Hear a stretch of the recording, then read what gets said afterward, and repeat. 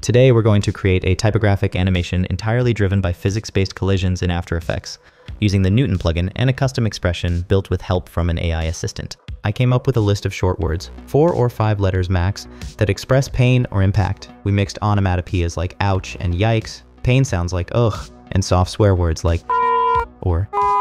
The goal was to use short, expressive, punchy words that feel natural and readable in motion. The first word displayed will be we. I start by creating a new composition. I create a text layer and type this first word. I center its anchor point, then draw a mask around the text. This mask keeps Newton from interpreting the full text geometry, simplifying the simulation.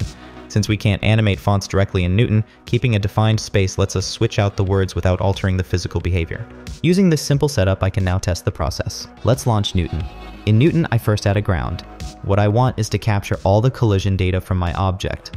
Whenever it hits a wall or another body, I want that interaction recorded. I select the object, go to Body Properties, Advanced, and enable Export Contacts. I increase the solver's substeps and lower the collision tolerance. Then I run a quick 100 frame test. In the new composition, I can see the simulation. And more importantly, I now have an effect called contact with the slider and keyframes that match the collisions. They're not always super precise since sometimes the collision happens between two frames. Another useful detail, Newton also tracks the energy of the contact. Here's how the expression works. It contains the list of words we created. The first word shown is always we. It reads the slider values from the contact effect created by export contacts. It also includes two filters.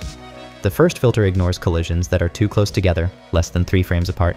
The second ignores small changes under 30 units to focus only on meaningful impacts. I copy the expression and apply it to the text source. Let's see what it does. It works, though I need to change the blending mode of the text layer to none to make it visible. Now we can see that the word changes at every valid collision. Let's scale things up. I delete the test comp, reset the masks mode to none again, and paste the expression.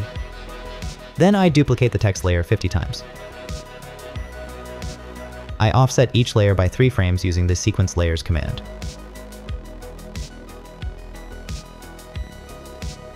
Then I randomize the scale between 20% and 120%. I relaunch Newton. I place walls on the left and right. Then I use the randomizer to distribute the layer positions between 100 and 900 pixels.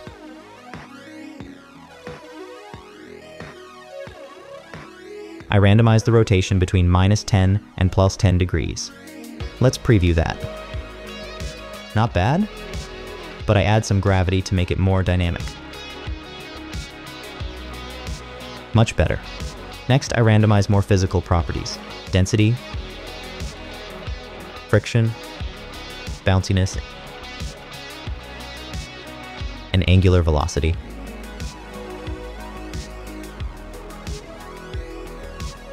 Now the animation looks much more lively.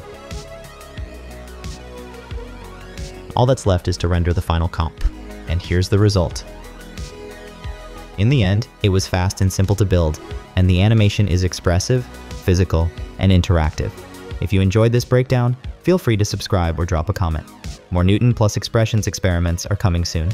Thanks for watching, and see you next time.